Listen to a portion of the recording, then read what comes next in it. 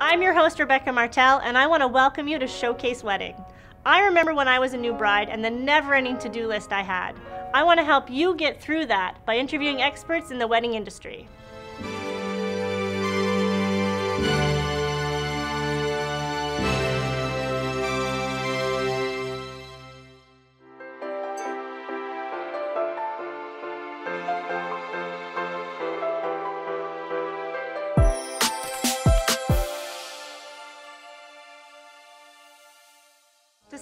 This episode, I want to take you out to Quebec City, where we will be visiting the Hotel Chateau Laurier.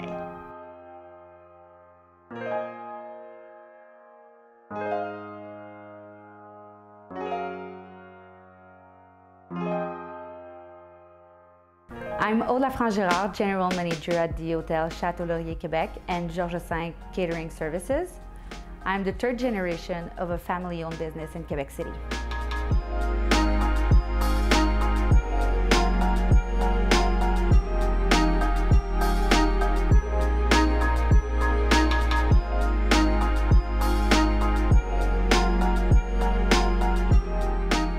Hotel Chateau Laurier Quebec is located in the heart of Quebec City, sitting at the corner of Grande Allée Street and Place Georges V, with plenty of restaurants and a vibrant nightlife.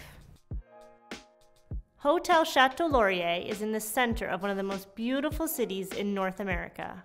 With a large European influence, Quebec City is a focal point of French culture. Quebec City is known for its comfort foods. Their poutine, French onion soups, and crepes will all have you craving your next meal.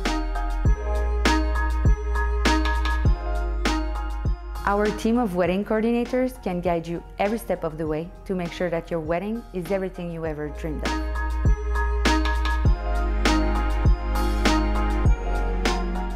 In our various reception halls, we can accommodate any size of wedding, anywhere from 20 to 300 guests. One of our key features is our inner courtyard, the perfect location for a classic outdoor ceremony.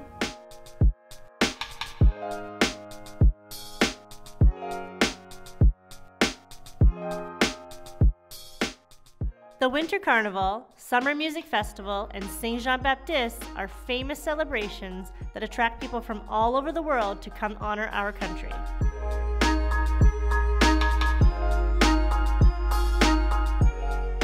Chateau Laurier Quebec treats every newlywed couple with a complimentary, luxurious room for their special night.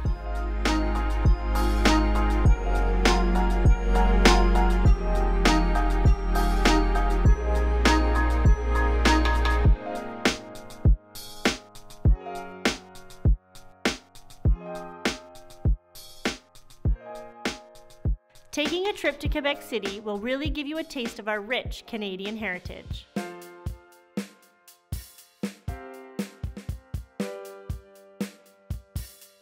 Have you ever wondered how a customized wedding ring is made? Well, XORM Jewelers is going to show us how. I'm here in the heart of downtown Montreal where I'm going to go meet Gino, the owner of XORM Jewelers.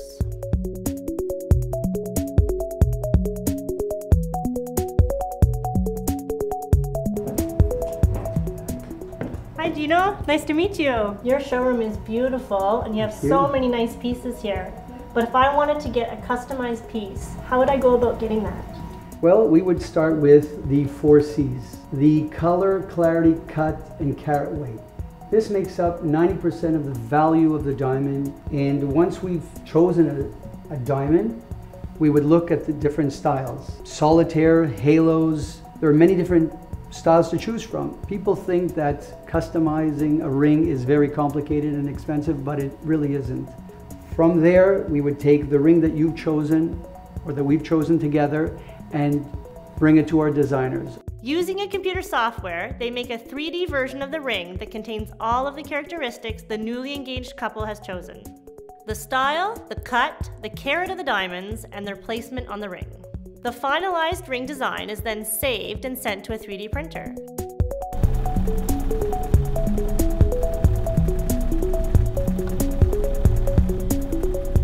Once it's perfect, they would give it to a caster where we would choose the material.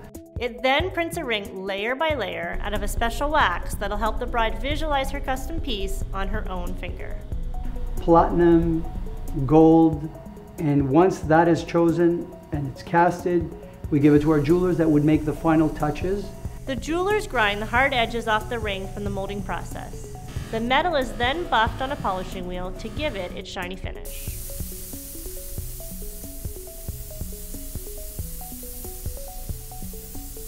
After a thorough cleaning and a protective coating, the jewelers inspect the ring to make sure it's perfect for the diamonds. Give it to our setters that would set the diamonds, then have it evaluated. So once the ring is certified, the process is complete and ready for you to take home.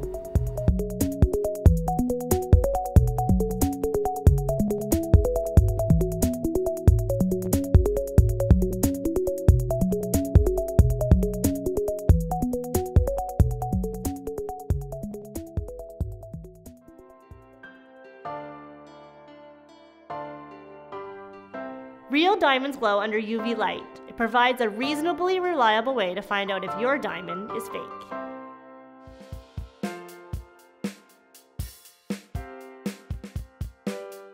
I'm here today at Bridal Lane where I get to show you the abundance of choices that you have. Let's go try some of the most popular styles you can choose from. So our first model gets to show you the classic princess look. This dress has a tulle skirt, a beautiful beaded bodice, and that sweetheart neckline. If you wanted to have a more fuller effect, you can use that crinoline underneath. You know that this dress will never go out of style. So our next dress is the traditional A-line. This is a perfect choice for any of the shorter brides out there because it can really elongate the body. Notice the beautiful belt. It's one of many accessories, including headpieces and veils, that can really complete your look. Our next dress is absolutely perfect for that destination wedding. Informals are a great choice for a simple wedding, a getaway wedding, or something that's smaller. Don't think that you have to go with just white. Like many of the dresses here, you can choose up to 100 different colors. Just imagine your feet in the grass or your toes in the sand. Now for a quick quiz. Can you guess how much the most expensive diamond was sold for? We'll give you the answer after we get some hair and makeup tips from Neelam Style.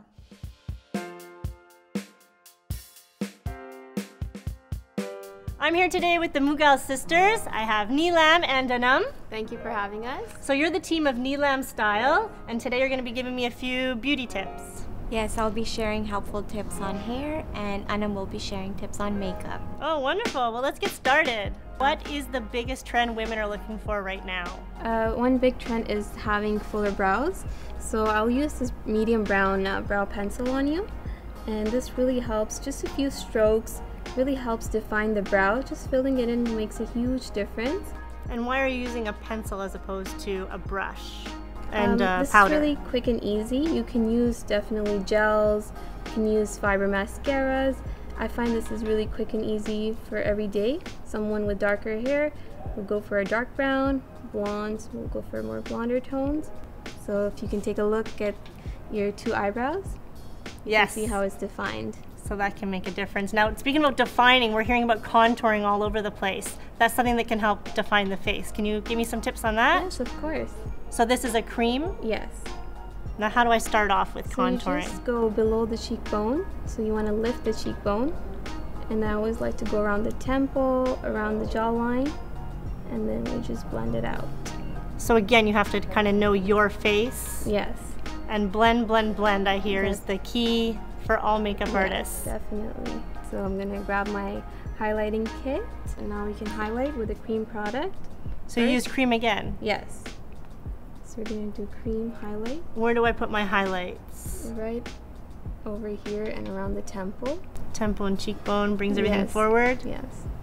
So it's all blending.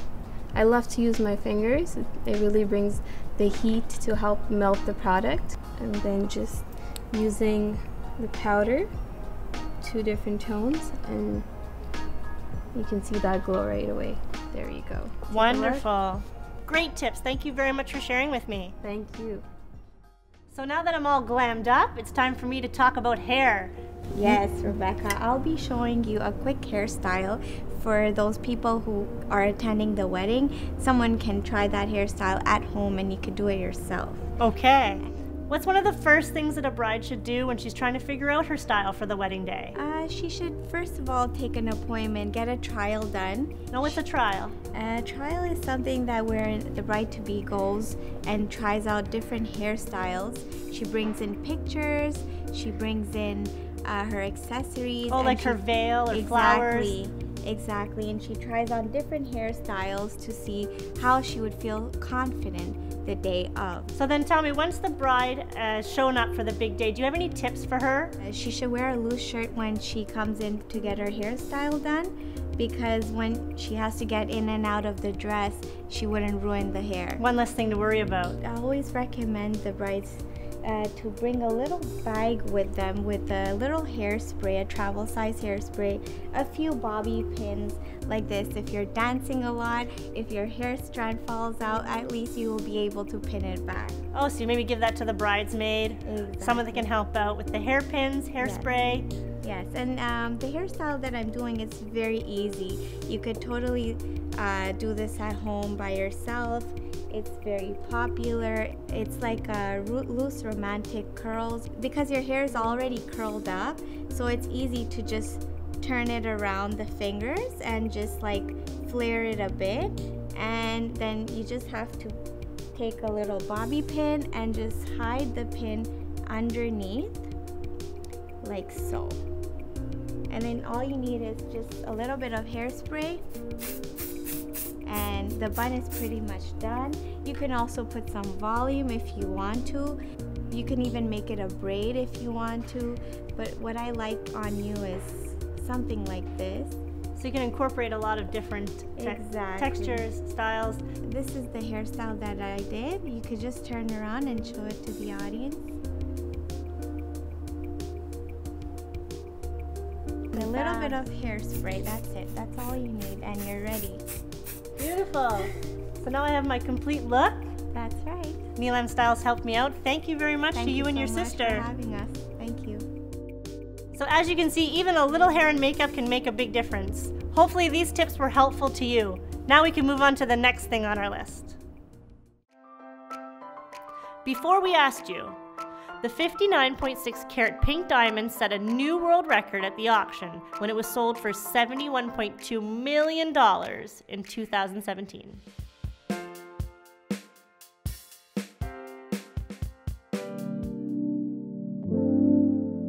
I'm out in L'Assomption, Quebec, visiting the old Oasis Courthouse, a beautiful historic wedding venue.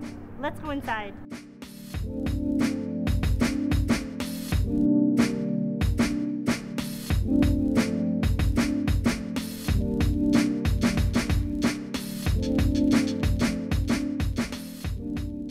Today I'm out here in the old courthouse of L'Assomption. I get to speak with Mac Antoine. He's the cultural agent here. Bonjour. Bonjour.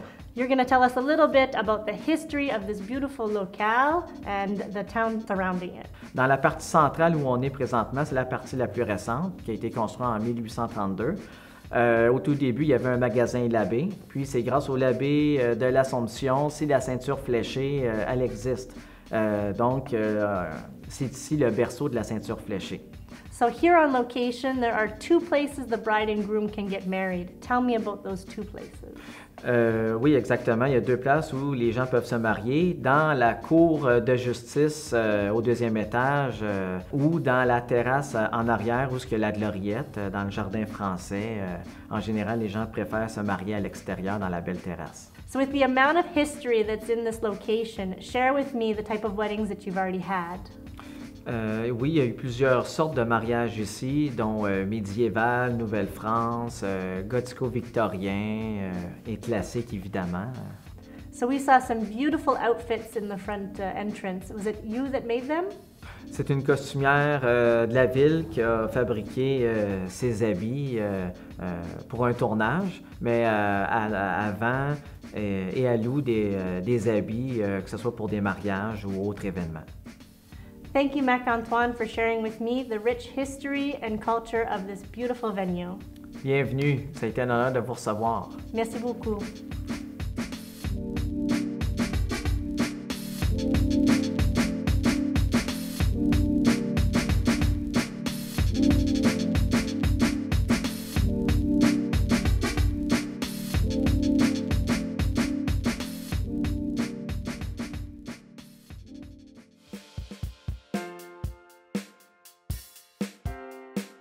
Next up, we get the party started with Mixed Jockey Productions.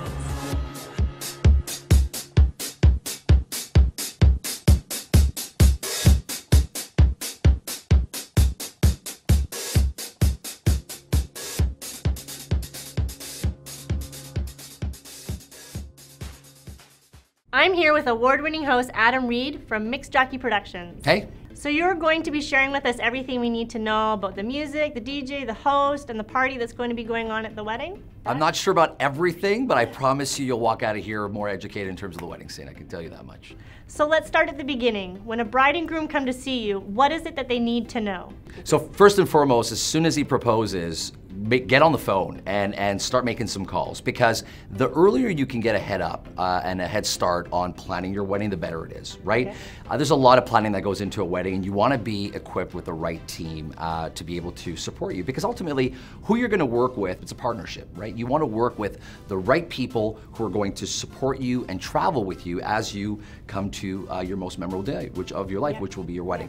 Second thing I would say is make sure you understand your crowd uh, relatively quickly. Then it starts to say, well, what kind of people do I want to be working with with the crowd that I have in mind? And that's really important because if you don't know the sort of clientele or sort of guest list that you're going to have, it becomes incredibly difficult for the people who are entertaining them to satisfy that To get the demand. right right, exactly, exactly. What's the most important thing you can tell them to have the best experience? The most important part of a wedding in 2017, 2018, and beyond uh, is the party. You have to throw a good party, and you have to have a host that can drive the party, that can drive the event, and make sure it's not too long. Um, but ultimately, the party is the most important because the party is what generates a great time. So invest in the party, invest in the entertainment company you're going to hire, invest in the host that's going to be on the mic, that's going to be engaging your crowd, that's going to understand your story, and also a team of people that will understand who's in the room and then be able to provide a party that will be, you know, spoken about for, for years to come. So, not just music, what else have you seen change over the years? Photo booths. I remember uh, just having a, a old school Polaroid on the table, and this was like Oh, yeah, five years ago. So, yeah, where people would take pictures, then they would hang them up on the wall. Then we went through this whole phase of photo booths, and then they went back to the Polaroids because everybody had photo booths. But now we're back on the photo booths because we now have the capability of, social, of uh, sharing our pictures on social networks in real time. right, right. So you can hashtag uh, costumes, uh, designs, glasses, uh, branded content. There's so much to do with photo booth, and that's probably the one thing I've noticed across the board that is at almost every single wedding uh, that we work and that we do. And another thing that I've changed, uh, that I've seen change, is the pacing. There was this time where speeches were really important. Where you know the father would take the, the mic and the mother would take it, and then the in-law side and the other side. crying, Everybody's everybody's crying, but at the same time, everybody's sort of you know waiting to eat their food and saying, "Come on, let's get this party going." So that's changed. It's more quality now, not quantity. People are speaking from the heart. It's it's it's they're actually being told how much time they have now, which is something brand new, uh, and they tend to respect that. So it's in between anywhere between five to seven minutes. It's something that we would suggest is a relatively good amount of time to engage a crowd and address 200 people in a hall. Um, and after that, it's really just all about the party, party favors, music selection, getting creative, mashups. That's a huge thing right now that they're mashing up 1980 songs with 1990 beats. yeah. So there is so much to do. And that is, is, you know, now that I think about it, it's one of the things that people need to do more. They need to work with a team that's going to think outside the box rather than play the shoe game and have their first chorus and the toast and the YMCA. no. Yeah, the YMCA is a big one. Nice call on that one. And, and also on a final note, uh, VR. Uh, it's coming. VR? VR, virtual reality. Oh, really? It's coming, At and the we're weddings? yeah, yeah. So you heard it here first. Okay. There's some really, really cool AR and VR that's coming for weddings. Augmented reality, virtual reality. Uh, options for brides and grooms, and maybe maybe I can come back and talk to you guys about that for sure. Keep our Be a lot of fun. For that. Yeah. Thank you so much. Thank for the you. advice. Thanks hope for that thanks for having me. Hopefully, all this information will help you plan the party that your guest will never forget.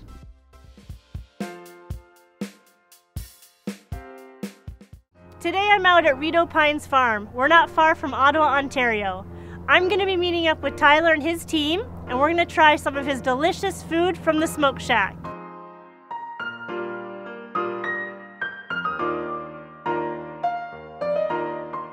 We're out here today at Rideau Pines Farm and Market. We've got the Smoke Shack and Tyler here today. What is it we're going to be doing? So we got everything set up for you today at Rideau Pines, just a lovely little wedding venue just outside of Ottawa. We have our food truck, we have our smoker, uh, we have a nice little table set up. Uh, and what we're going to do is we're going to provide you guys with a little appetizer, some food, and then um, just see, give you an idea to see what the ambiance is that, that we can provide to you. So you're going to show me what it is you can do for the bride, what it is you uh, bring down, what you supply. Exactly. Um, I'll give you a little rundown of what we traditionally do for the planning and the organizing of a wedding. What we like to do is we like to bring the bride and groom into the restaurant, give them a little taste of everything that we have to offer. Um, all our meats that we offer are all smoked. Uh, we have a bunch of delicious sides that we can offer to you. Um, so we bring you in, let you decide a few of the meats that you want to choose, a few of the sides, and then we can bring that to, to wherever you've chosen your venue, wedding venue. Perfect. So besides the food and the amenities, you got a liquor license, the party going all night. Yeah, so we can bring our liquor license with you, which just saves you a lot of um, a lot of planning. Really, you don't have to deal with the bureau at all. We can bring that with us, and then we can provide you with wines, different wines, any local brew that you're interested in, some Beau's, Tread. We got Ashton Brewing Company, Beyond the Pale. Pretty much anybody, anybody, any kind of beer that you're interested in, we can provide to you. Perfect. Yeah. On top of that as well, we also have a, we can do a late night menu for you. We can do a buffet. We can do mac and cheese. We can do a little pulled pork sliders. Whatever, whatever you guys are interested in. Mm, I'm interested in trying. Yeah. we'll get to that shortly. So hi, I'm Chef Adam Kelly from the Smoke Shack, and uh, what we're gonna have is some excellent Jamaican jerk chicken uh, made with our in-house jerk sauce, and then we also have our Red Blacks ribs, uh, great pork side rib that comes with our honey chipotle sauce. Again, made in-house. We really pride ourselves on making our own sauces. And uh, some pulled pork that again has uh, Memphis Red, kind of more vinegary based uh, Carolina barbecue sauce for our pulled pork. And then finally we have some wonderful 12 hour smoked brisket with the smoky onion coffee barbecue sauce. And we're able to smoke right here on site, which is, I think, a fantastic finished product for bride, groom, or any event that you're gonna be hosting. Perfect. So Tyler, we're all set up here at this gorgeous table. Please tell me who did all the setup. So Marianne down at Heirloom Events was nice enough to provide us with all this beautiful stuff here on the table. Um, she's located in and around the Ottawa area. It gives you that beautiful rustic wedding feel yes, right on location. Right. Gorgeous job. And Chef Adam has put out all this food for us. Tell me what it is. So what he's brought out for us is we started with a little bit of appetizers. We have some jerk chicken egg rolls here. We could also do some um, andouille sausage skewers. We can do some sliders for you. Uh, going over to this, this is the main event, the attraction. We got our St. Louis style uh, side cut ribs. We got our pulled pork, our brisket, and then we got our jerk chicken over here. Then just in front right here, we have uh, some vegetables that were picked probably 45 minutes ago, just in the Rideau Pines farm behind us. Right here, yeah. Yeah, right here. And then we have our uh, our famous mac and cheese. Everything looks delicious. I can't wait to try it. Pretty tasty.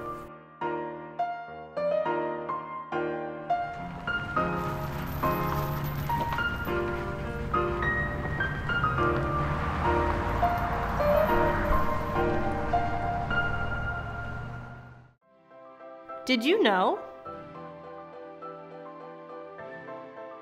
Queen Victoria pioneered the white satin wedding dress. Since white dresses were so hard to clean, it could only be worn once, a luxury only the wealthy could afford.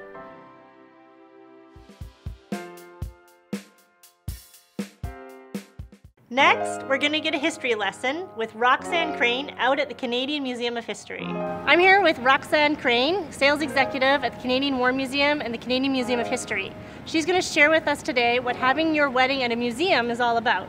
Thank you so much, Rebecca, and thank you for coming to visit our museum. This place is absolutely beautiful. What room are we in right now? We're in our magnificent Grand Hall. It's our signature venue at the museum and also our largest venue here. So there could be weddings right here, Absolutely. Right with all these beautiful totem poles. Yes, you're actually in an actual exhibit. So if you want to offer something really unique to your guests, this is probably one of the most unique places you can actually host a wedding. I would assume, yeah, yes. having a wedding in a museum, um, people that have their family from abroad coming here, they actually get to visit all of Canada being in one place. Exactly. Right now, the Grand Hall showcases all the Aboriginal groups of the West Coast, but we have other exhibits that basically speak of the history of Canada from you know the beginning of the first groups that came here all the way to the most recent um, factual what's happening today in Canada. So Roxanne, can you give us a little history on the Canadian Museum of History? Um, this museum opened in 1989. Uh, it was opened under its original name, the Canadian Museum of Civilization. People still think of us as a Canadian Museum of Civilization. In 2014, it was changed to the Canadian Museum of History because we wanted to put an emphasis more on the history of Canada. I recognize a statue that's behind you. Where where would I have seen that? Uh, this statue behind me, it's called the Haida Gwaii Salon. Uh, there's also the original model is in Victoria, BC. This is an actual model right here, but uh, people might recognize it as being the on the old $20 bills. And we actually have a boat outside, which is a tugboat. People my age can remember before the loonies, the $1 bill. There was a tugboat on, on the $1 bill, and that's actual tugboat. That's from the $1 bills. So, little gems hidden all over. Yes, a lot of a lot of Canadian history right here at the History Museum. So there's a lot of exhibits here in the museum that are stationed all the time. We call them permanent exhibits, that's correct. And then you have others that change out. Yes, we have temporary exhibits that um, that are more current. That we can have traveling exhibits from from other countries. We also have uh, more exhibits that can be a bit more fun. For example, we had a hockey exhibit this past year.